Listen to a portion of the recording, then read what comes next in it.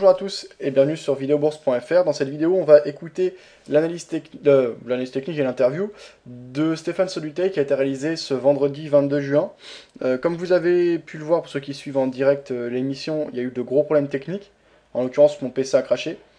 Euh, donc bon, il fallait que ça à ce moment-là. C'est quand même pas tous les jours que je reçois des personnes aussi reconnues que Stéphane Soluté. après, on commande pas, c'est arrivé. Donc c'est un peu tout perturbé, vous allez voir, euh, j'ai pu l'enregistrer, donc c'est quand même le principal, on a plus d'une heure d'interview avec Stéphane Solutey, c'est très intéressant. Alors ce qui manque, c'est euh, le début, donc la présentation, donc je vais m'en charger rapidement, euh, et ensuite il enchaînera directement avec une analyse du CAC. Pour ça, vous inquiétez pas, la, la vidéo, l'interview va commencer directement sur une analyse, c'est parce qu'au début, il y avait des problèmes techniques. Il manquera un autre petit passage ensuite, donc une transition euh, du CAC vers euh, l'argent. donc je reprends la parole simplement pour bien faire la liaison et pour tout soit, soit clair au niveau de la chronologie. Et au début de la vidéo, il y a des petites coupures de son, c'est quand même audible, vous allez voir, on peut suivre, mais il y a des petites coupures. je vous rassure pour ceux qui écouteraient quelques minutes et qui se diraient ouais, ça coupe trop, je coupe. ensuite, au bout de quelques minutes, il n'y a plus aucun problème et tout roule. Donc, euh, bah, je vous présente toutes mes excuses et on fait au mieux. Alors, Stéphane Sodutey, c'est un trader euh, particulier qui gère maintenant une SICAV, donc il a un peu la double casquette. Euh, c'est un trader quand même reconnu. On le retrouve notamment tous les jeudis sur BFM Business pour ses analyses face à, Jean-Luc Hussac, notamment dans le match des traders le matin. C'est également un écrivain. Il a programmé d'écrire plusieurs livres dans les prochaines années. Il y en a déjà un qui est sorti qui s'appelle Le Scalping, qui a été écrit avec Gilles Serrault, qui est un expert euh, sur la gestion du mental. Euh, donc euh, vous pouvez le retrouver sur son site technibourse.com. C'est également quelqu'un qui donne des formations. donc vous avez les dates également sur son site technibourse.com pour ceux que ça intéresse. Donc son corps de métier, le principal, c'est quand même la gestion de la SICAV Reactor 7, qui est une SICAV officielle donc euh, un, fonds de gestion euh, officiel. Il est classé euh, auprès de, bah, du site justement qui classe et qui traque les performances des différentes SICAV Morningstar. il est en parfaite réglementation et totalement transparent. Donc on va étudier rapidement les résultats de cette SICAV. Stéphane Dutel, c'est quelqu'un qui a une approche purement technique. Il a de nombreuses années d'expérience sur les marchés, je ne sais plus exactement combien, mais vous le verrez, il le précise lors de l'interview. Euh, il ne il fait absolument pas de fondamental. Il fait pas non plus a priori de quantitatif ou d'études des volumes, en tout cas assez peu. Euh, justement, j'essaie de le lancer, puisqu'en ce moment, on a beaucoup de personnes qui s'intéressent à voilà, bah, l'analyse fondamentale toujours, hein, et ça c'est normal. C'est euh, Moi personnellement, j'utilise, il y en a beaucoup qui, le regardent, puis même quand on veut pas du tout en faire, on est quand même informé. mais voilà, Stéphane Sutel, c'est vraiment quelqu'un qui dit n'utiliser et ne faire que du technique, même pour son scalping. Et quand il y en a aussi qui pensent qu'on peut faire euh, du scalping qu'avec des analyses quantitatives, avec l'étude des volumes, etc., euh, justement, il en parle, il dit qu'il y a des choses intéressantes à faire, mais que c'est pas obligatoire, et que lui ne s'en sert pas du tout, par exemple. Il a une autre manière, euh, une autre approche. Donc, ben, on va regarder rapidement les résultats du fond. Donc voilà, on voit ici les performances. Donc depuis 2010, depuis juillet 2010, donc je pense que c'est là où était ouvert le fond, ou alors c'est là où il est rentré, il le précise ça aussi. donc on a une performance de la CICAF qui est de 5,53% alors que le CAC 40 a perdu 16,04% depuis cette date. Et depuis le début de l'année 2012, on a un gain de 5,51% pour une perte du CAC 40 de 2,97%. Donc c'est des résultats assez solides. C'est donc désormais une SICAF qui est gérée uniquement avec de l'analyse technique. Et bah, en plus de l'analyse technique, de la présentation des outils qu'il utilise, vous verrez que c'est assez simple. Euh, donc de son approche, de sa rigueur, de sa manière de travailler. Il précisera également quelles sont les contraintes quand on passe euh, de bah, gérer son compte en tant que particulier à gérer une SICAV et donc gérer l'argent de tiers euh, C'est tout ce qu'on va découvrir tout de suite en commençant par l'analyse technique du CAC 40. On écoute Stéphane Soluteil. La baisse pourrait se réactiver à tout moment et revenir chercher euh, ben, la zone basse, c'est-à-dire la, bande de Bollinger inférieure qui passe un peu en dessous de, 2900 points. Et là, après, on peut croiser cette information avec, bien sûr, les tracés chartistes que l'on aurait pu faire, droite horizontale, droite oblique. Alors, on voit qu'historiquement, on a un très fort niveau, de, une très forte zone de, support entre 2900 et 2850. Donc, euh, on pourrait dire que pour le moment, on est enfermé entre 3150 et 2900 points. Euh, ce dont je me sers énormément également euh, pour euh, commencer à, certifier une conviction afin de, trouver vraiment des points sur lesquels je vais intervenir, c'est, j'ai mis ça sur un tableur Excel, je vais vous le, faire voir. En fait, le CAC 40 est composé de, de 40 valeurs dont la pondération de chaque valeur est différente par exemple, euh, Total de l'indice, alors que Alcatel 20% de, de l'indice sur moins, moins fort ou plus fort euh, sur, euh, sur la valorisation du CAC. Alors ce qui est intéressant en fait, c'est que moi, tous les trois mois à peu près, les bornes hautes euh, possible pour les trois prochains mois euh, du CAC 40. Alors comment est-ce que je fais? Eh bien, je vais faire tout simple. Enfin, c'est relativement simple. Je vais, par exemple, je vais prendre une valeur du CAC 40, Valourec, d'aujourd'hui mobile, bien en deux, et on est cadencé pour le moment par la bande rouge.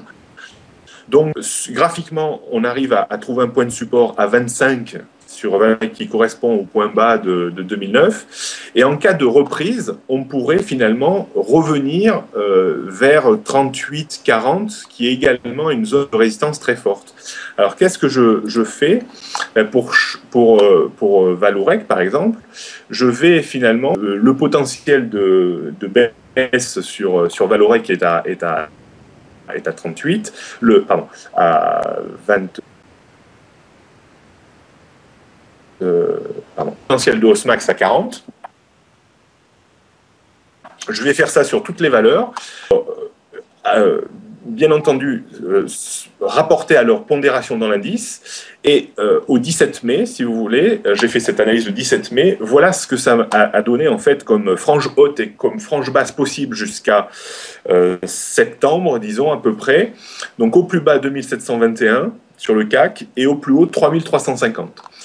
Donc, j'avais fait exactement cette même analyse le 22 euh, décembre euh, de l'année dernière que j'avais présenté sur un, direct puisqu'on m'avait invité et on m'avait demandé mes prévisions pour, euh, pour, pour l'année 2012. Et donc, le 22 décembre, on est à 3070 points. et ce qui ressortait de cette analyse, identique à celle que je vous ai présentée, c'était au plus bas 2562 et au plus haut 3591,81 donc grosso modo 3006.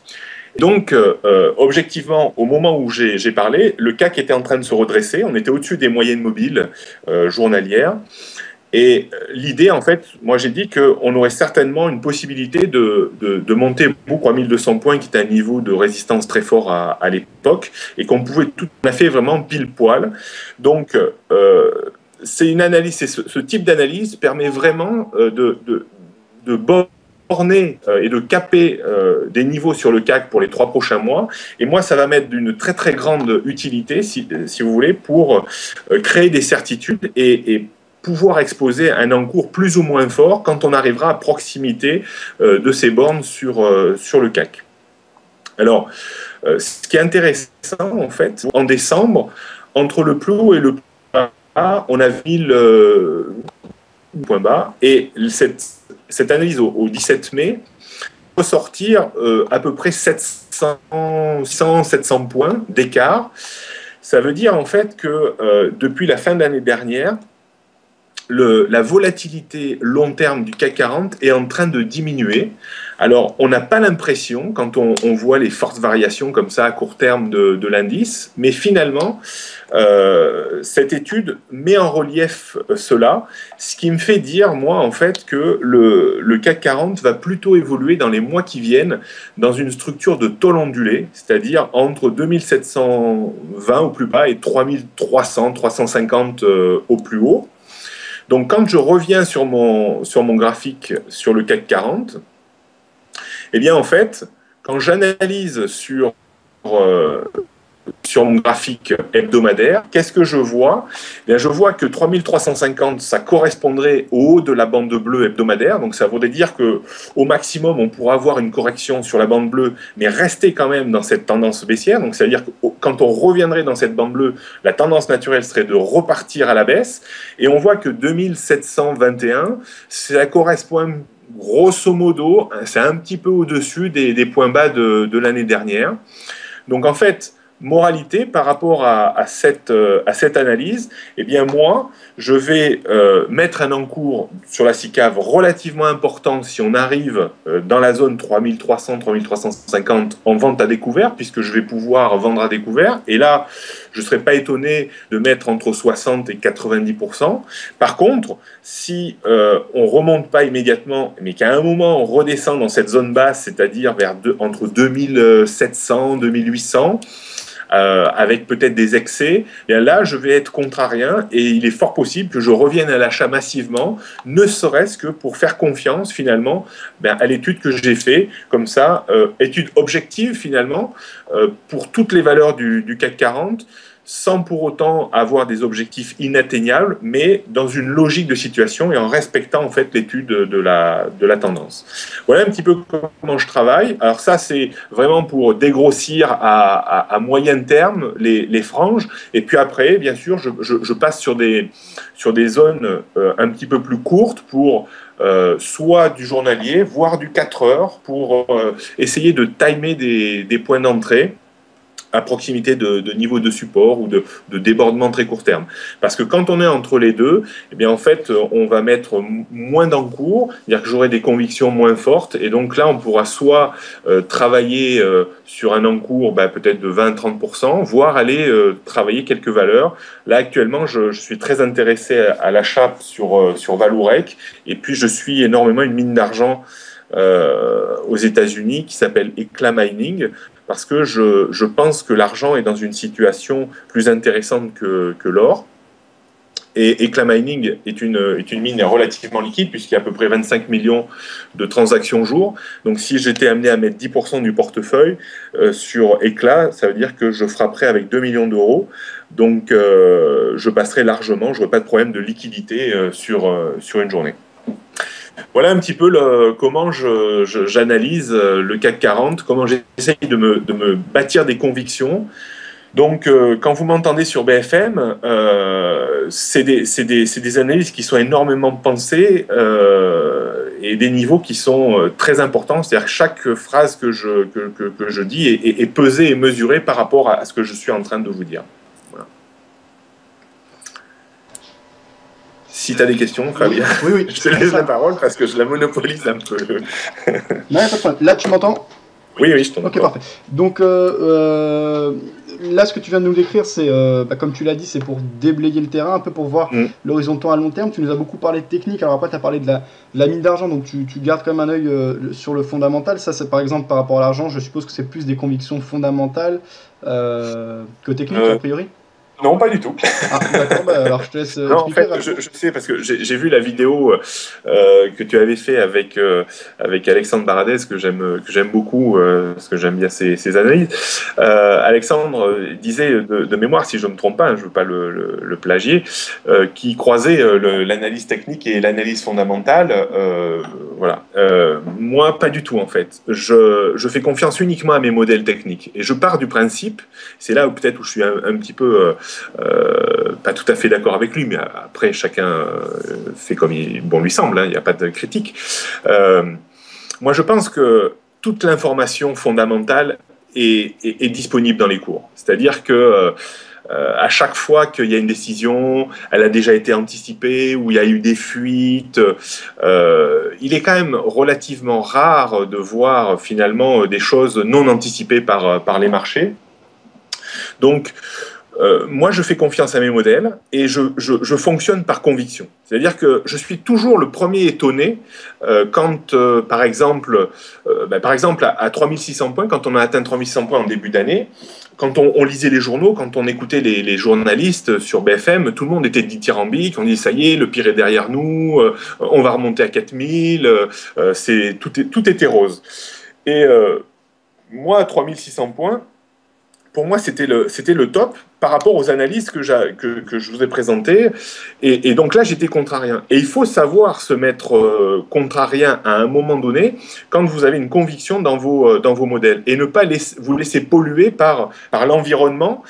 Euh, fondamentale, bien entendu, parce que il y a toujours à un moment une, et c'est ça qui est, qui est, extraordinaire. Euh, moi, je suis éternellement admiratif quand à 3600 points, et eh on commence à voir l'enchaînement de nouvelles arrivées qui finalement justifie le fait qu'on ne débordera pas 3000. Ok, donc à ce moment, euh, Stéphane en fait finissait son analyse du CAC 40 et il enchaînait par la suite sur une analyse de l'argent. Euh, il y a une coupure, bon. Et donc euh, on retrouve l'analyse de l'argent. Éclat, comme je vous le disais tout à l'heure, éclat mining. Pourquoi? Parce que ben, en fait, on est un petit peu dans, dans, une situation identique de consolidation, un petit peu dans une structure potentielle en, triangle, avec euh, des supports très bien identifiés, hein, vers 3,80 sur, euh, sur éclat. Euh, là, on voit qu'on a cassé un petit peu la tendance baissière qui était en place depuis euh, un an et demi sur, euh, sur cette mine d'argent. Donc là, j'ai une grosse veille stratégique parce que je serai capable de mettre 10% de, de l'encours du fonds, puisque je ne peux pas acheter plus de 10% de valeur sur Reactor 7.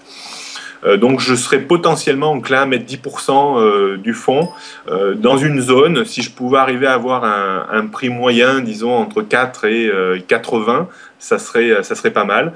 Donc là, on a, on a cassé cette tendance baissière. On peut tout à fait avoir un petit effet de pullback. Et l'objectif visé, ben, ça sera dans un premier temps cette bande bleue entre 5 et 5,50. Et si on casse cette bande bleue, ben, 6, 7. Euh, qui serait euh, déjà euh, une, une, consolidation, une reprise technique haussière de, dans un horizon moyen-long terme. voilà. Donc, moi, je pense que si on tient au-dessus de 26 dollars l'once d'argent, je pense que Eclat aura du mal à, passer en dessous de 3,80. Donc là, il y a peut-être une opportunité intéressante au niveau de, l'once d'argent. Alors, je, t'entendais aussi parler. alors, c'est vrai que si les marchés venaient à rebaisser, euh, tout, tout, baisse dans un premier temps, tout baisse de concert, c'est-à-dire les marchés d'actions, les, euh, certaines, devises, euh, les métaux précieux, parce qu'en fait, si on, est un petit peu en situation de panique, les, gens vendent non sélectivement. Et donc, que ce soit de l'or ou des, des, titres boursiers X ou Y, ils vendent. Mais, mais des devises peuvent monter par contre justement. Parce que s'ils vendent, forcément ils deviennent liquides. Euh. Bien sûr. Alors souvent, quand ils vendent des actions, le refuge c'est souvent les taux, hein, et on voit le, le Bund euh, allemand euh, monter. Mais également, à un certain moment, s'il y avait vraiment des, des mouvements de, de panique très importants, les, métaux reprendraient une fonction de, refuge et on pourrait très bien voir les, métaux repartir de, l'avant parce que bah, les gens bah, doutent, euh, voient les problèmes européens, voient qu'aux États-Unis peut-être ça c'est pas pas si rose avec les dernières euh, statistiques qui sont pas super bonnes ces, derniers mois. Voilà. Donc moi je pense que euh, au niveau des métaux précieux, l'argent est plus intéressant que l'or. Pour moi, l'or est, vraiment encore un peu dans une dans une tension et dans un surachat long terme euh, qui euh, me semble pas, pas intéressant à exploiter encore euh, immédiatement. Et je pense que le potentiel de reprise, si j'avais dit ça au salon de, de, de l'analyse technique, si vous croyez en la hausse de l'or, achetez de l'argent. Ouais, bah, je me rappelle, bah, j'étais là, bah, j'ai filmé d'ailleurs. Mais euh, le truc, c'est. Euh, en fait, c'est très intéressant ce que tu dis, euh, etc. Mais juste pour en revenir par rapport aux, techniques euh, et aux, fondamentales, justement, quand, quand, tu dis par exemple que tu es plus acheteur sur l'argent par rapport à l'or, c'est quoi C'est par rapport à un ratio En fait, simplement, tu, ben, on, on, va simplement regarder un, un, un graphique mensuel. Euh, tu vois, ça c'est le graphique mensuel de, l'argent. Donc on voit en fait des pics euh, très forts à 13, c'est-à-dire que les, points hauts de l'argent, grosso modo, c'est 12-13 dollars. C'est-à-dire que, euh, non pardon, ça on était sur éclat, excuse-moi, je, je, suis allé un peu vite, c'est 50 dollars pardon sur, l'argent. On voit qu'on a eu une consolidation, là on est sur, sur du long terme, hein, du très long terme. On a une consolidation sur l'argent qui est en train de, revenir sur la bande bleue long terme, c'est-à-dire on, est en train, on, a quitté une, hausse très forte sur l'argent qui était cadencée par la bande rouge. Cette bande rouge, c'est les mouvements de hausse les plus forts que l'on peut constater tant qu'on reste au-dessus de cette bande rouge. Et on a cassé cette bande rouge et on est revenu sur cette bande bleue. C'est-à-dire que là, euh, compte tenu de la vélocité très forte, moi je serais pas étonné qu'on prenne appui dans cette bande bleue. Avant de retenter une, une hausse. Et quand on regarde l'or, ben on voit que on est très suracheté, c'est-à-dire que on est encore, euh, comparativement à l'argent, l'or est en train simplement de, casser un petit peu sa bande rouge. On est encore quand même dans une situation de, tension qui est beaucoup plus importante que l'argent, puisque l'argent, comparativement, elle, est dans la bande bleue. C'est-à-dire que l'argent, euh, si on avait vraiment une corrélation parfaite entre l'or et l'argent, au niveau de l'argent, le cours de l'or serait grosso modo vers 1300 dollars alors qu'il est 300 euh, dollars plus haut. Donc c'est pour ça que moi, je pense que si on pense vraiment à une, reprise de l'or, plus ou moins immédiate, il y aura plus de potentiel haussier sur l'argent, puisque mécaniquement, si tu regardes euh, l'once d'argent, on est grosso modo à 26. Si on a une, réactivation de la, de, la, de, la, de la hausse et qu'on ne revient simplement que sur les, points hauts qui ont été faits à, 50, voire, voire, un peu moins, ça fait quand même une, une, valorisation de, de 30-40%. Alors que euh, si on regarde l'or, on a, si on tient cette zone, on a une zone très importante là vers 1522-1565, si on tient cette zone, ben, le potentiel de hausse, si on l'estime sur le point haut, est bien moindre, si tu veux. Donc c'est pour ça que moi je pense que dès que les métaux vont repartir, l'argent, ce sera un des, euh, un des métaux qui euh, aura un potentiel de valorisation le plus important. Alors moi, j'ai du mal à, croire. En fait, je pense effectivement, comme les spécialistes de, de, l'or, je pense qu'il manque euh, encore une, une, une, hausse importante de, de l'or, parce que je pense que la foule n'a pas encore acheté massivement de, l'or. Quand votre boucher de quartier aura envie d'acheter de l'or, ben, on sera peut-être là dans la dernière vague euh, haussière de l'or. Mais moi, cette vague haussière, alors au salon de, Fabien, tu étais témoin, au, salon de, l'analyse technique, certains euh, voyaient l'or euh, dans, trois ans à 15 000 dollars. Hein. Donc moi, je pense que déjà, dépasser les 2000 et, et, un haut de cycle entre 2500 et 3000 serait déjà euh, extraordinairement euh, beau. Euh, et donc, il y aurait beaucoup d'argent à gagner sur l'or ou sur l'argent. Voilà. Ouais. Mais tu vois, c'est marrant parce que ça semble assez subjectif justement. donc c'est pour ça que c'est dur à, se repérer parce que toi, tu donnes donc un seuil, donc tu, tu, penses qu'on va avoir une nouvelle vague de hausse. Euh, par exemple, j'entendais Nicolas Chéron de chez FXM, lui justement, il dit que bah, justement d'ores et déjà, on a tout le monde qui va acheter de l'or et que pour lui c'est trop tard, par exemple, et il pense que ça va corriger fortement. Lui pense qu'on est déjà au stade que tu décrivais là avec le, boucher. Euh, après, tu as par exemple une personne comme euh, Belkayat mhm. qui voit l'or complètement exploser. Bon, après, je suppose que chacun a sa vision des choses et certains ont des intérêts plus. Mais ouais, c'est assez dur de se repérer parce que c'est c'est souvent ça, de toute façon, c'est que tu as des personnes quand même relativement reconnues dans, dans, les milieux, mais qui ont des avis vraiment euh, Alors moi, euh, moi j'ai rencontré Mustapha en 98, on était les deux seuls, je pense, au monde à croire en la hausse de l'or à cette époque-là, et j'étais très solidaire avec ce qu'il disait, en fait, jusqu'à présent. Moi, je, euh, on, a bien vu la, hausse de l'or, hein, dès qu'on a passé 430 dollars, dès que Greenspan, finalement, et là c'est un peu le point de vue fondamental, a, laissé courir parce qu'ils ont essayé de, de, manipuler les cours de l'or dans les années 2000, un peu avant. Euh, en vendant de l'or des banques centrales que les Chinois ont, acheté massivement. Euh, moi, je, suis, je me suis désolidarisé un peu de Mustapha parce que je pense qu'on euh, aura quand même du mal à, monter à 10, 15 000, même s'il y avait des graves problèmes au niveau européen.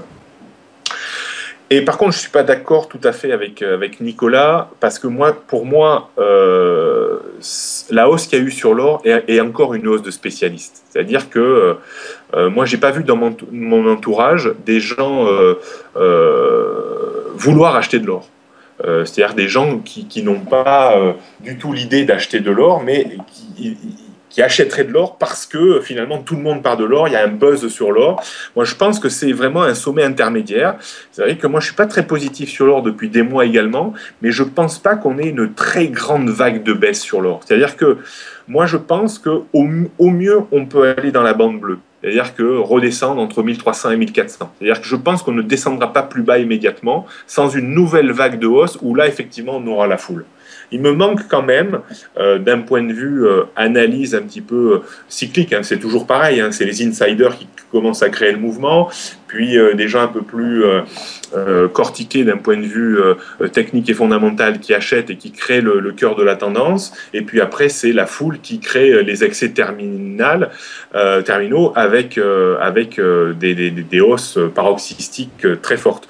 Moi, je pense que euh, on n'est pas on a eu des, hausses fortes, mais je pense que c'est encore essentiellement dû vraiment à des, euh, gens très, pointus sur, l'or. Et, peu de, particuliers de la France profonde ont, acheté de l'or ou ont thésaurisé de l'or. Alors bien sûr, il y a beaucoup de, personnes qui connaissent un petit peu l'analyse technique, qui sont penchées sur l'or, mais ça reste quand même euh, minoritaire par rapport à, à la population française. D'accord. Euh, ce, que tu, ce que tu utilises euh, comme outil, c'est uniquement ce que tu nous as présenté euh, en début d'émission ou tu en, utilises également d'autres? Non, je reste principalement, finalement, mes outils, en fait, tu vois, c'est mes, mon complexe de bande rouge, de bande bleue et de moyenne mobile qui me permet de, de savoir si je suis dans une tendance douce, moyenne ou très forte que je croise un petit peu avec euh, des éléments plus chartistes, en fait, un travail autour de la, de la tendance, en n'oubliant pas les droites de support horizontal, les obliques. Euh, sinon, j'attache très peu d'importance aux indicateurs, en fait. À dire que euh, le stochastique et le RSI, ça doit faire euh, 10 ans que j'en ai pas utilisé un. Quoi, hein. J'utilise simplement un, Un MACD optimisé, que le MACD, en fait, c'est une différence de deux moyennes mobiles exponentielles à, 12 et 26 périodes filtrées par une, une moyenne à 9 périodes. Moi, j'utilise plus un MACD plus court, il y aura 8, 18 et 5, c'est-à-dire deux moyennes mobiles à 8 et 18 filtrées par une moyenne à 5.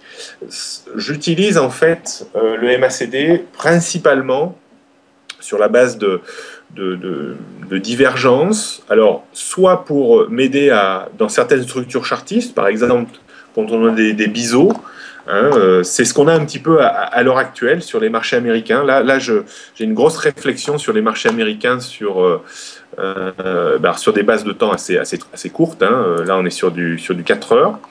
Là, je vous le mets à l'écran, par exemple. Là, vous avez le, le, le SP500 sur une base de 4 heures, donc c'est euh, une analyse court terme, hein, euh, puisque le, pour moi, on est, euh, je pense qu'on est en train de, de, de, valider la, sortie d'un biseau sur le, sur le SP500. on voit cette, cette, cette, montée comme ça avec un, petit essoufflement vers la fin et cette, cette, cette montée en, en évasement progressif.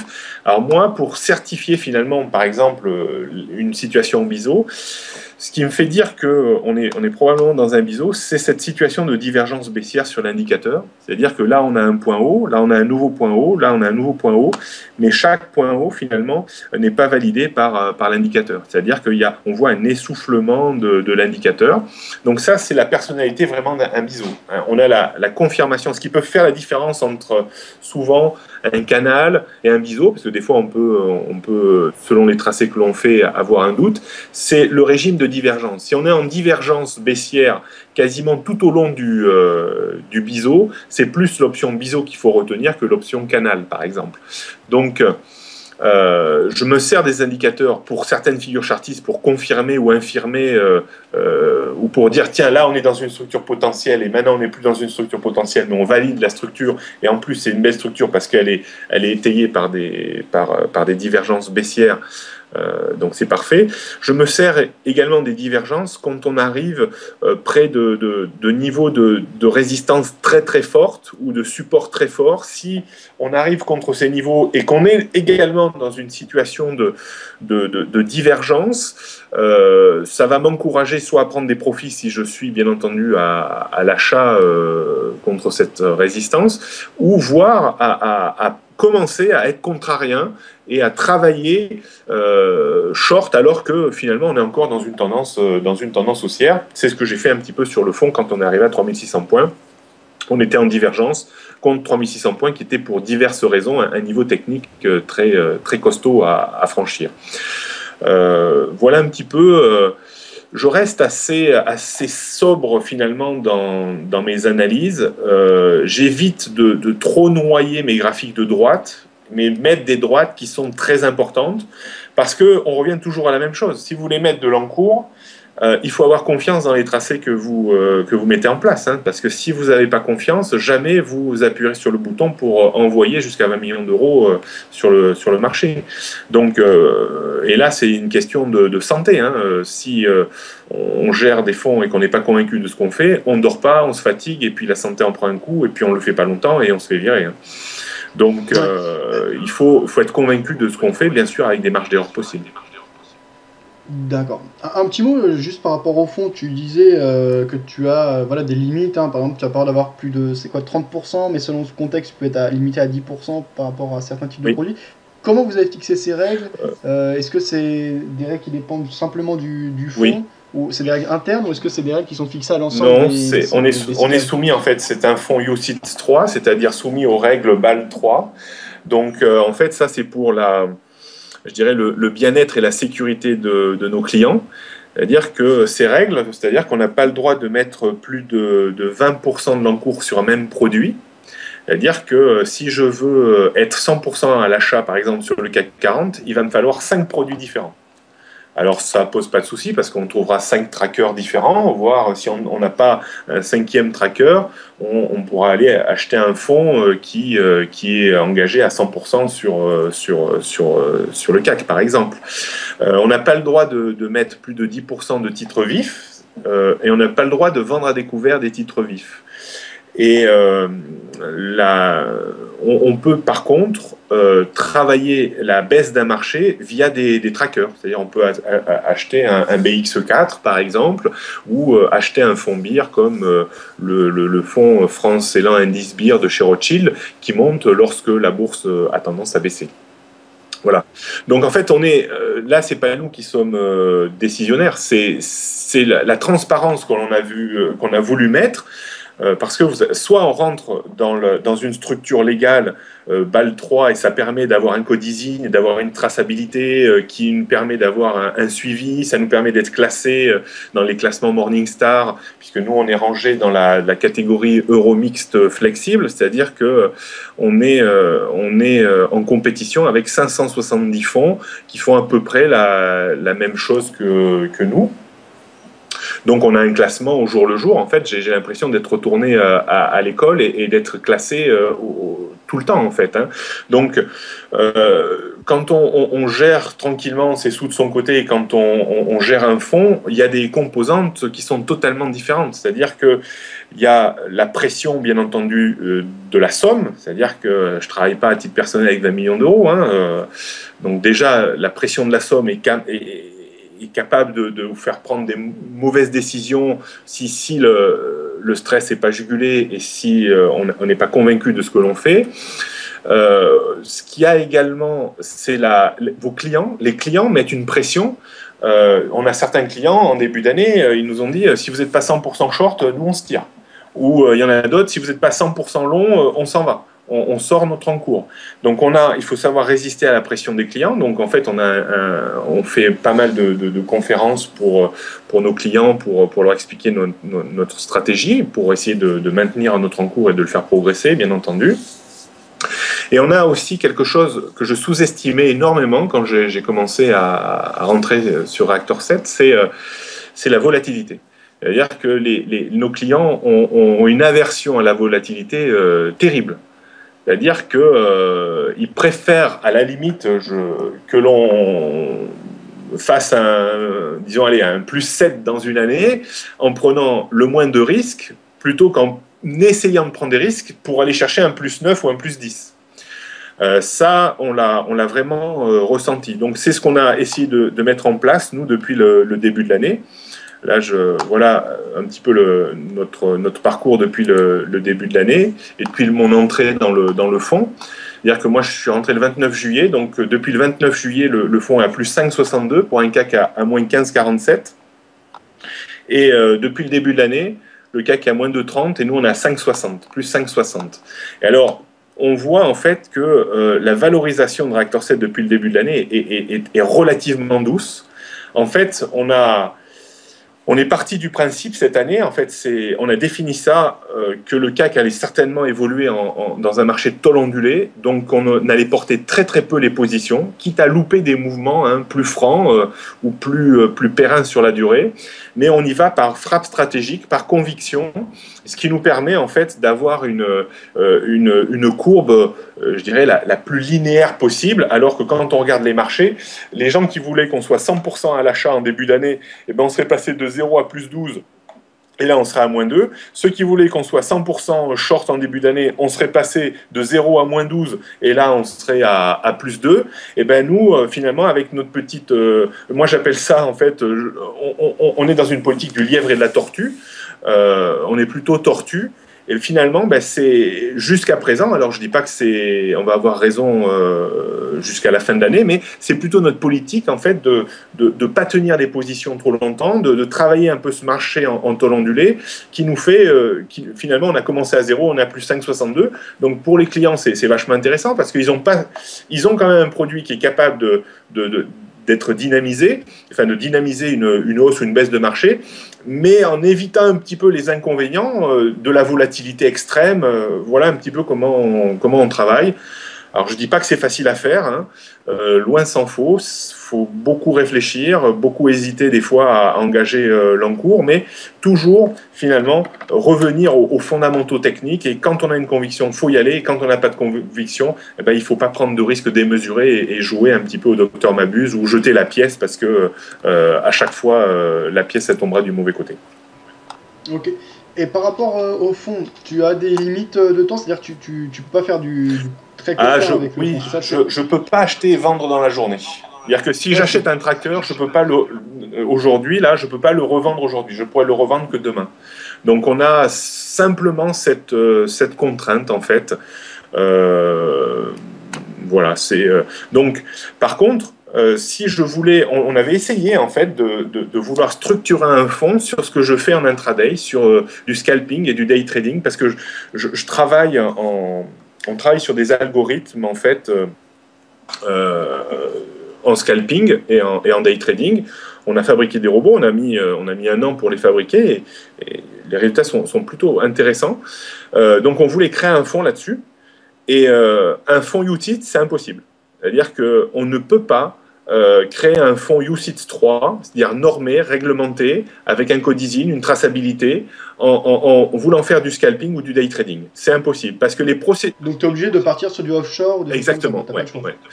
Donc euh, le offshore, c'est pas possible parce que euh, les clients, déjà, il faut les convaincre. Il n'y a aucune garantie que les gens partiront pas avec leurs sous. Hein. voilà. Donc nous, comme on, veut rester, enfin moi, je, je veux rester totalement transparent par rapport à ce que je fais et euh, je veux pas, euh, je veux pas faire de choses exotiques ou non, non normées, ben on, peut pas, on peut pas faire ce qu'on veut en fait. On dit que la finance est trop réglementée et, pas assez réglementée. Moi, à mon niveau, elle est, à mon sens, trop réglementée dans la gestion de, fonds. Ouais. Ouais, non, en tout cas, c'est vraiment intéressant. Mais après, tout, le deal est là, en fait. C'est-à-dire que ben, les...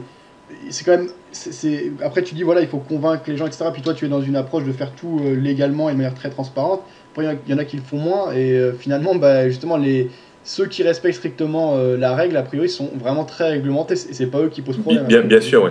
Mais ce qui est important, je pense, c'est la traçabilité. C'est-à-dire, après, euh, il y a tellement de margoulins sur la, sur la place que.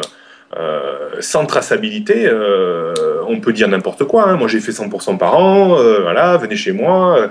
je pense que les gens ne demandent pas assez de, traçabilité aux gens euh, à qui ils confient leur argent ou euh, aux gens avec qui ils sont formés euh, éventuellement, parce que finalement, il y a, très peu d'analystes techniques qui sont soumis à la, traçabilité. Hein. des fonds liés à l'analyse technique, il y en a très très peu en fait. Hein. En France, il doit y en avoir un ou deux euh, qui peuvent en fait, en plus, ils ne peuvent pas euh, shorter puisque euh, la législation interdit de prendre des, des, positions de vente à découvert pour les fonds qui sont, qui sont en, France. Ça reste euh, très minoritaire, une gestion de, fonds au travers de l'analyse technique.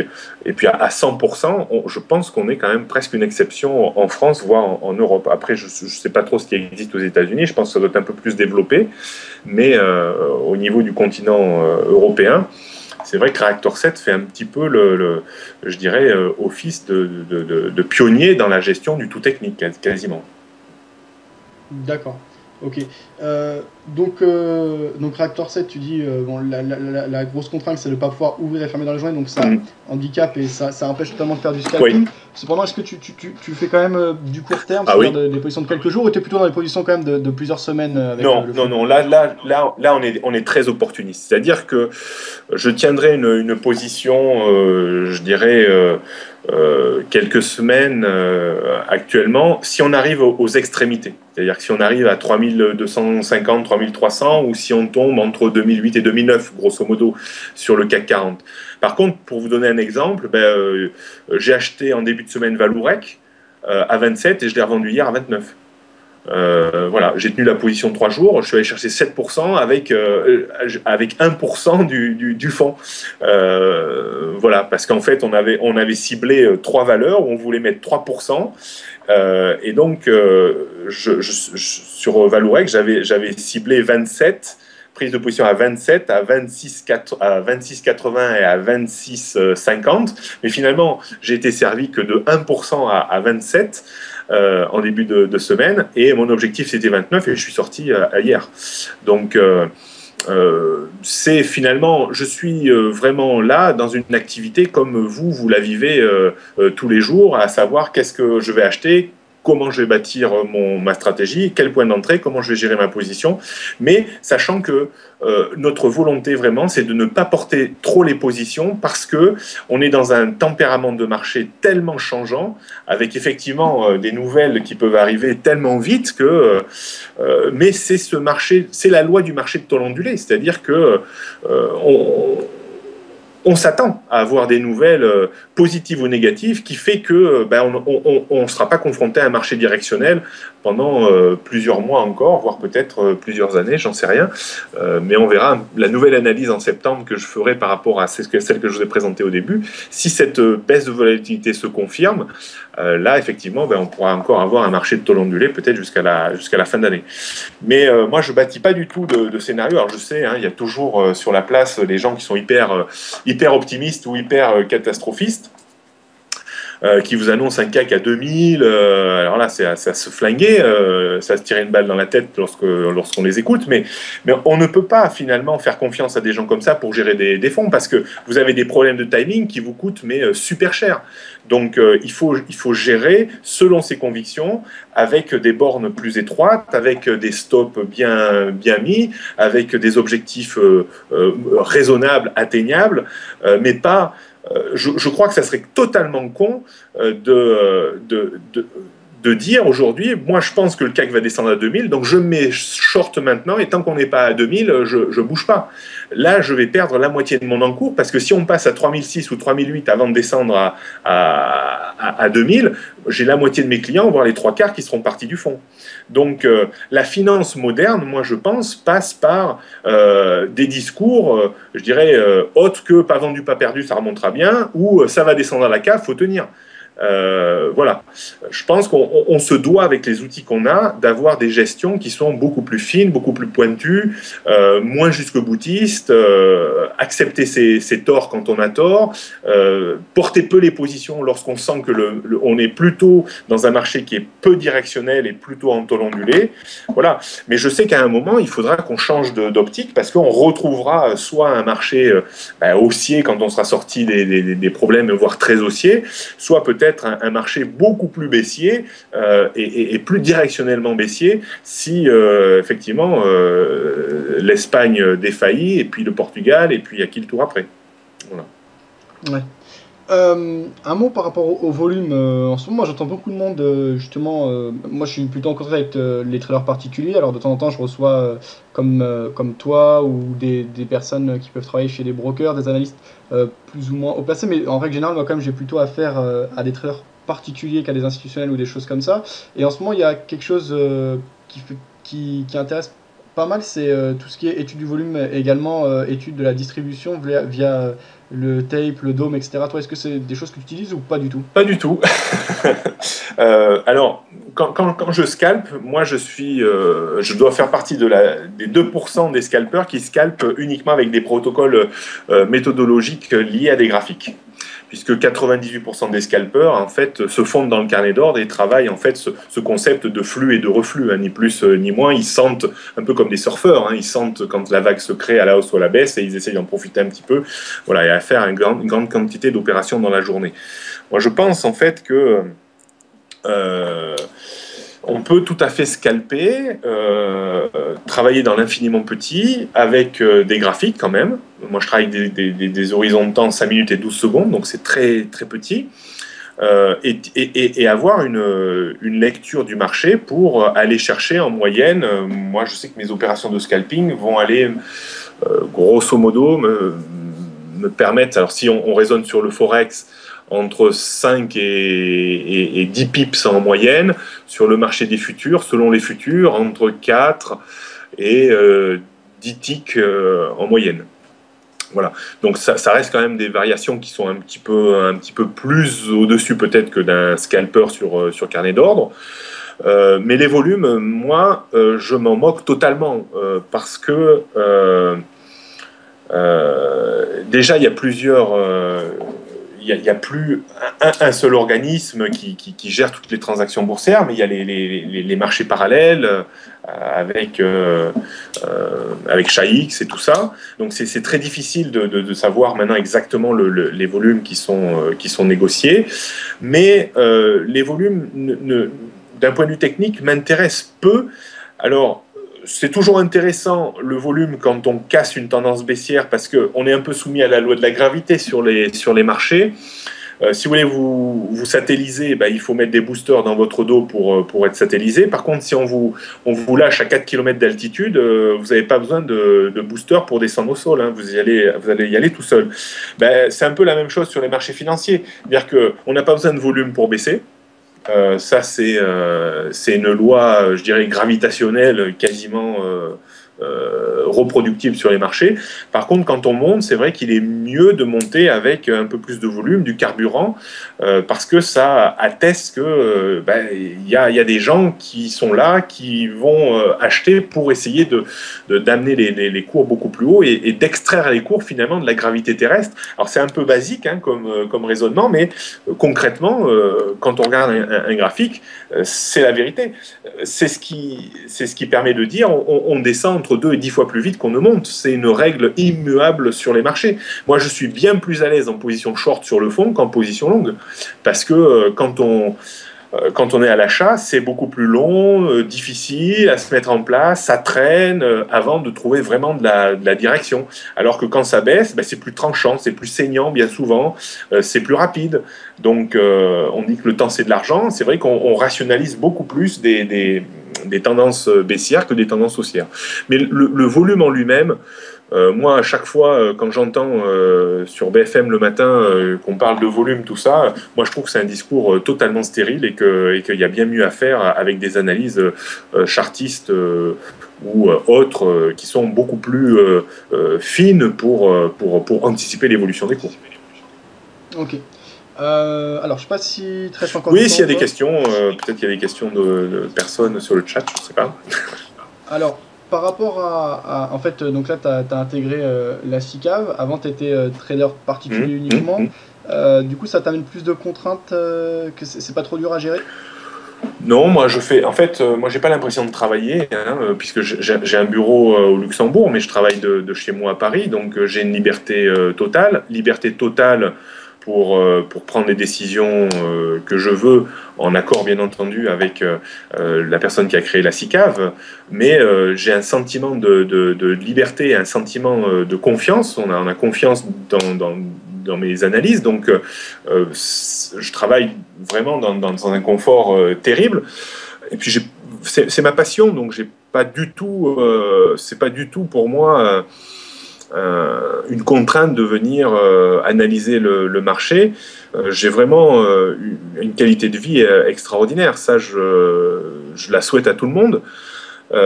Et puis, par contre, la contrainte, pour moi, c'est pas une contrainte, mais je suis jamais en vacances. C'est-à-dire que là, je vais, je vais partir aux États-Unis au, mois de, au, mois de juillet, mais la, première préoccupation, c'est est-ce qu'il y a l'internet à l'hôtel? Parce que je vais rester connecté quand même, je vais voir, analyser, prendre des décisions pour le fond alors que je serai en vacances. Donc, pour pour un certain nombre de personnes, ça serait une contrainte. C'est-à-dire euh, on est dans un système un petit peu judéo-chrétien où on travaille, où il faut euh, cinq semaines de vacances, euh, couper. moi, j'ai pas le besoin vraiment de couper parce que je je travaille pas. Je ne dis pas que je m'amuse tous les jours, mais j'ai pas le sentiment de d'exercer une, une, une, profession finalement avec des horaires. Euh, c'est vraiment très, très confortable et je souhaite à, tout le monde. C'est l'avantage en fait de notre activité. Euh, alors, le problème, c'est qu'on est très isolé, on est très seul quand même. Hein. Euh, donc ça, il faut accepter la solitude, il faut même, euh, je pense, l'aimer. Et puis, on est un peu désocialisé. C'est-à-dire que moi, souvent, quand il n'y a rien à faire le matin, je, je, je, pars chercher ma baguette. j'ai mon voisin du dessous qui, qui, sort et me dit Ah, vous, monsieur Sauduteil, vous allez à belle vie, hein, vous foutez rien du tout. Hein. Donc, tous ces toutes ces, toutes ces petites choses qui font qu'on se sent un peu quand même marginalisé par rapport à notre, notre activité. Mais euh, moi, même si je fais rien euh, entre, 10 et, entre 9 et 10 heures parce qu'il ben, n'y a, a, rien à faire, euh, je suis quand même capable de, prendre une décision qui engage 20 millions d'euros à 11h30. Hein. donc, voilà, il faut tout est question de, conviction, de certitude, de préparation. c'est pour ça en fait que moi j'ai coécrit mon, mon, livre sur le scalping avec un expert en, performance mentale parce que euh, quand on, envisage euh, les marchés financiers sous l'angle technique, il y a beaucoup de, techniques à mettre en place, beaucoup de modèles à créer et développer la confiance dans ces modèles, mais il y a également beaucoup de rigueur d'exécution et de préparation mentale pour euh, trader de la même manière ou gérer de la même manière ou ne pas s'user ou ne pas s'effilocher ou ne pas péter un câble ou euh, voilà. Et, ça, je pense que euh, c'est le gros inconvénient pour les investisseurs particuliers, c'est-à-dire que moi je peux apprendre ma technique en, deux jours à quelqu'un, c'est-à-dire qu'en deux jours il en sait autant moi, grosso modo. Euh, mais ce qui va faire la différence, c'est euh, dans la reproduction de l'effort. En fait, il faut assimiler ça à un sportif de haut niveau. Qu'est-ce qui fait la différence entre un amateur et le haut niveau? C'est la capacité à, à, faire un geste technique plus vite et, de façon régulière tout le temps. Donc euh, le trading, c'est la même chose, c'est exécuter une méthode avec régularité et précision dans la durée. C'est-à-dire qu'il faut envisager le trading, à mon sens, comme ça, parce que si vous l'envisagez pour faire un coup, gagner beaucoup d'argent et, vous tirer, euh, ça, ça va pas être simple et, c'est casse-cou. Par contre, ceux qui durent sur les marchés, ben, c'est souvent ceux qui ont une régularité, qui sont un peu des rouleaux compresseurs, qui euh, ben, font pas des choses euh, super sexy, mais en fait on est un peu dans, des équilibres euh, comptables en fait. Moi j'ai formé un jour un, un joueur de poker euh, qui, me, qui me disait euh, ben moi je gagne ma vie avec le poker mais euh, moi, moi mon but c'est de plumer les plus faibles et c'est pas d'aller affronter les plus forts hein. et donc il se servait simplement des grands tournois pour, pour, pour avoir un peu de d'aura médiatique de façon à ce qu'il soit invité par des plus faibles pour aller gagner sa vie avec les plus faibles voilà un petit peu. Et ben sur les marchés, hein, c'est un petit peu pareil. Je pense que il faut pas avoir peur finalement d'avoir des stratégies euh, minimalistes, peut-être même entre guillemets en gagne petit, de façon à euh, être capable de, euh, de, durer, de dupliquer. Et alors, ce qui est très intéressant, et, ce que je dis souvent, et, personne n'en a conscience, c'est que tout le monde a un capital de départ, c'est-à-dire 10 000 euros, disons, et ils ont tout, tout de suite une... souvent, hein, les gens que j'ai formés ont, ont, ont une espérance de gain. C'est-à-dire, ils veulent créer de la valeur, par exemple 1000 euros pour s'acheter euh, des vacances ou un, bien matériel. Et donc, ils exposent 10 000 et pour gagner 1000 euros, il faut gagner 10%. Mais ils ne pensent pas du tout à la, chose suivante, c'est-à-dire qu'ils voudraient mieux être minimalistes, c'est-à-dire être certain d'aller chercher plutôt 1% ou 2%, avec une plus grande certitude, parce que 10% c'est plus compliqué, il faut de la technique, de la maîtrise, de, euh, de la patience, et ça c'est difficile. Ben, il serait peut-être plus intéressant d'avoir un, modèle plus minimaliste, c'est-à-dire dire, ben voilà, est-ce que c'est pas plus facile d'aller chercher 1% Et quand on aura été capable de dire, ben voilà, c'est très facile d'aller chercher 1%, ou plus facile d'aller chercher 1%, et eh ben je mets une taille 10. Euh, et ça, personne ne, ne, raisonne comme ça. Et moi, j'ai raisonné comme ça pour, pour moi, et je suis bien content d'avoir raisonné comme ça, parce que, on ne peut pas passer de 1 à 10, mais pensez que euh, moi, je pense qu'il faut diminuer la fréquence de trade et augmenter la taille avec la conviction que l'on met dans son trade. Et je pense que c'est un, bon conseil et essayez de, mettre ça en place à votre niveau avec vos, différentes méthodologies que vous avez fait euh, vous-même. Mais euh, le trading je dirais, chevaleresque avec euh, euh, acheter, gérer la position, tenir euh, avec des trading stops. C'est très compliqué quand même. C'est très compliqué parce que ça demande beaucoup de, conviction, de compétences, de patience. Et donc, je pense qu'on peut être plus minimaliste et gagner plus durablement sa vie en, disant, ben voilà, on, va, c'est plus facile d'aller chercher moins, mais finalement, comme j'ai confiance et comme je réussis à aller chercher moins, ben, je vais mettre plus de taille au départ pour créer de la valeur et pour faire des choses aussi sympathiques avec, euh, avec les sous euh, dégagés au final. Voilà un petit peu comment je, conseille euh, aux gens de, de, réfléchir. C'est un peu paradoxal, mais pour moi, ça fonctionne pas mal et, et pour les gens que j'ai formés, ça fonctionne plutôt bien aussi. Ok. Euh, à terme, y a, la plupart des particuliers euh, perdent de l'argent mm. sur les marchés. Euh, bah, là, je pense que tu n'as pas donné une partie de la réponse, puisque tu as, expliqué toi ton approche et comment tu penses qu'on peut avancer. Donc, on a déjà vu bah, toi ta méthode pour durer et pour avoir du succès en trading. Mais une question plus précise, c'est en termes de performance, en termes de pourcentage par année, par exemple, tu penses que qu'est-ce qui est, est-ce, qu'il y a déjà, on peut donner des chiffres comme ça? Est-ce que tu penses qu'on peut donner, par exemple, euh, des, performances euh, raisonnables qu'on peut aller chercher annuellement avec un risque relativement modéré? Déjà, qu'est-ce qu'un risque modéré selon toi en termes de drawdown Qu'est-ce, qu'un drawdown maximum acceptable par rapport à son capital? Et quel objectif annuel c'est possible d'aller chercher en, ayant une gestion rigoureuse et raisonnable euh, sur le long terme? Bah, en fait, euh, là, je vais raisonner dans, deux, horizons bien différents. Donc, au niveau de, la gestion de la, de la CICAV, moi, l'idée, en fait, c'est euh, réacteur 7, 7, c'est 7% par an. C'est euh, le but, c'est d'essayer de faire au, moins 7% par an. Mais, mais bon, le but, c'est pas de, s'arrêter à 7%, c'est d'essayer de faire le plus possible parce qu'il y a des fois où il y a des années où le, marché sera très généreux et d'autres années où il sera moins, moins généreux. L'intérêt, c'est de, de toujours bien mettre en place ces concepts techniques et de très ce que l'on sait faire. Alors en intraday, moi j'ai un bon, je peux, je peux vous donner euh, vraiment des, chiffres parce que comme on a, on a, on a modélisé et on a des, algorithmes de trading qui travaillent sur, euh, sur les euh, et qui travaillent maintenant avec des fonds réels en fait. Donc la performance moyenne que l'on que l'on souhaitait au départ par rapport à, ce que moi je faisais à titre euh, personnel, c'était entre 0,4 et 1,1% par semaine. Les algorithmes qui n'ont pas euh, l'inconvénient d'avoir des émotions, eux ben, travaillent un petit peu au-dessus. C'est-à-dire que euh, on est plus entre 1 et 1,5% par semaine sur les algorithmes que l'on a, a bâtis. Donc, euh, grosso modo, euh, si on a une méthode que l'on suit, si on est discipliné, si on ne pète pas un câble à un moment donné, si on ne se, si se prend pas pour Dieu parce qu'on a gagné 2 francs 6 sous, je pense qu'une performance raisonnable avec des marchés à effet de levier mais avec un effet de levier maîtrisé, disons entre 5 et 10 euh, maximum, on peut espérer, avec cet effet de levier, faire allez, entre 30 et 80% euh, pour les meilleurs par an. Voilà. Mais euh, ça demande du travail, ça demande du courage, de l'abnégation.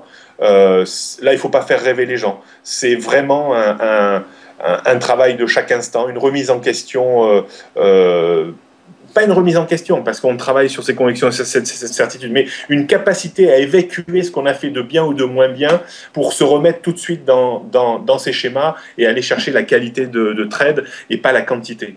En fait, nous, ce qu'on a vraiment... Euh, euh, ce qu'on a été capable de, de, voir au niveau de, nos algorithmes, c'est que plus la fréquence de trade augmente, et là, ça dépend un peu de la volatilité du marché, du tempérament du marché. Plus la, fréquence augmente, plus le taux de réussite diminue. Et ça, je l'avais constaté également sur, mes performances à titre personnel. C'est-à-dire qu'il vaut mieux, théoriquement, faire moins et pour faire plus qualitatif. Et plus vous allez augmenter en fréquence, plus vous allez tirer sur la corde, c'est-à-dire plus énergétiquement ça va demander euh, des ressources physiques, de fraîcheur, de mental, de concentration. Euh, vous allez vous user plus.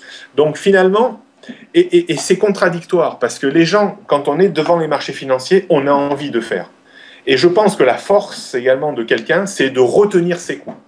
Euh, moi, j'ai toujours deux situations de marché, ou deux journées. C'est-à-dire qu'il y a des journées où il faut faire progresser son capital parce que le marché est sympa, parce que euh, les, schémas que vous utilisez arrivent, se mettent bien en place et finalement c'est presque facile d'aller euh, gagner de l'argent. Mais il y a des journées où l'avantage d'avoir une méthode, c'est euh, où elle vous permet de défendre votre capital. C'est-à-dire que vous n'êtes pas dans une journée où vous allez réussir à faire progresser le capital, mais vous êtes dans une journée où il va falloir défendre le bénéfice acquis dans les journées favorables. Donc il faut bien euh, euh, avoir conscience que on a des journées où on peut faire progresser son capital, mais il y a des journées où, euh, si on sort à zéro ou avec une toute petite perte, on ne peut pas être insatisfait ou déçu parce qu'on a fait le job et euh, on a fait son travail. Et c'est ça qu'il faut être capable de, relativiser euh, et, de bien, bien faire jour, jour après jour. Ok, euh, bah, ce sera à peu près tout au niveau des, questions, je pense. Euh, ce qu'on peut faire en fin d'émission, parce que c'est l'intérêt quand même pour toi, c'est euh, bah, de mettre l'accent sur les services que tu proposes. Donc il y a le livre, le scalping. Oui. alors, alors, le livre, c'est aux éditions Galino. Donc, euh, c'est le, livre noir, là je vous le fais voir là, sur, mon, sur mon site, le scalping. Donc, euh, ça c'est vraiment la méthodologie que j'utilise. C'est celle qui m'a permis d'être finaliste au tournoi de trading de, de l'année dernière au, Salon du Trading. Donc, je vais euh, réutiliser cette méthodologie du livre au Salon du Trading de cette année et avec un autre schéma tactique que je vais, que je vais utiliser. Euh, le fond, bien entendu, qui reste mon, cœur de, métier. Donc, euh, je, fais aussi quelques formations. La prochaine formation aura lieu au salon du trading euh, sur, le, schéma tactique complémentaire à, celui du, livre. Donc, je me suis engagé aussi à, écrire dans les, allez, 5-10 prochaines années 5, 5 ouvrages à peu près. Donc, le premier, c'est le scalping. Le deuxième, ce sera l'investissement graphique. Euh, qui correspondra un peu plus, euh, ça sera la version modernisée de mon premier livre bleu, Bourse et analyse technique. Le troisième livre que j'écrirai, ça sera sur le day trading. Le quatrième, ça sera sur le scalping expert. Et le, cinquième, en fait, ça sera sur euh, finalement comment créer sa propre méthode avec tout ce qu'on aura vu dans les quatre livres avant. Ben, en fait, faire un petit peu une boîte à Lego comme pour construire sa propre méthodologie avec euh, quand même une base structurée. Donc ça, c'est, je dis pas que c'est l'œuvre de, de, ma vie, mais presque pour euh, laisser une trace d'une certaine façon, livrer tous les travaux que j'ai pu euh, mettre en place. J'ai fait le compte, j'ai 35 000 heures d'observation des marchés financiers. Donc si ça peut servir à, à des gens où mes modèles sont certainement perfectibles, euh, ça peut aider déjà un certain nombre de personnes à, à mettre le pied à l'étrier sans, sans galérer comme j'ai pu galérer aux 5, euh, presque 5-10 ans avant de, trouver des choses intéressantes et de, modéliser de la récurrence intéressante, ben, ça, sera, ça, sera, intéressant. Et moi, au moins, je laisserai une trace de ce que j'ai fait parce que c'est vrai que ça reste quand même un peu, euh, virtuel tout ça. Donc, euh, ça, c'est toujours intéressant de, de fabriquer quelque chose. Donc, et puis, euh, bon, bah, sur le site Technibourg, ceux qui veulent euh, avoir des analyses un petit peu comme on a fait tout à l'heure en, début de, séance sur le CAC, l'or, euh, le Dow Jones, Nasdaq, ils peuvent venir sur le, sur le site. Voilà. Et puis, bon, vous me retrouvez sur BFM Business, bien entendu, et puis dans les différents salons ou quelques conférences également. là, je fais un, webinaire la semaine prochaine avec Euronext et, RBS mardi soir. voilà, donc toute mon actualité sur le site ou sur, ou sur mon Facebook. Donc, bah, écoutez, je vous remercie euh, tous. Merci Fabien de m'avoir euh, invité. C'était un plaisir. Et puis, euh, ce sera avec plaisir que je reviendrai peut-être une prochaine fois pour, pour des choses peut-être plus ponctuelles, une analyse de marché ou autre chose, si vous avez besoin. Bah, pourquoi pas? Bah, Carrément, oui. moi, je suis toujours ravi bah, de recevoir des personnes aussi reconnues que toi. Donc, bah, merci beaucoup d'être venu. Merci pour ta disponibilité. Et à très bientôt. À bientôt, merci. Au revoir. Au revoir.